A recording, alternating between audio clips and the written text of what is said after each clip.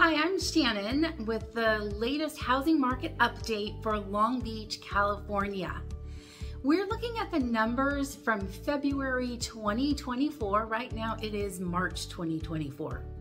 What we see is that the median price for houses went up along with the number of closed sales for houses.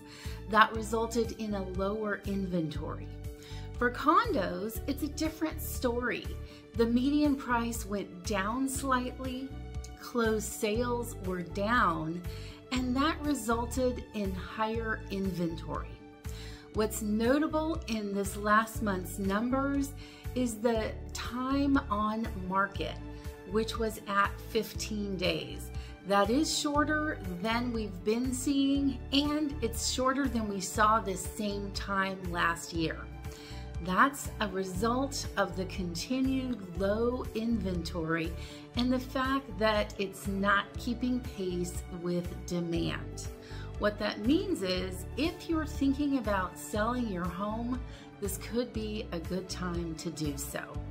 There's a lot of uncertainty right now um, as a result of the recent NAR settlement agreement or proposed settlement agreement. And so this could be a good time uh, to put your home on the market while other people are standing back trying to decide what to do. If you have any questions about buying or selling property or what's going on with the market, let us know. We're happy to help. Thanks for watching.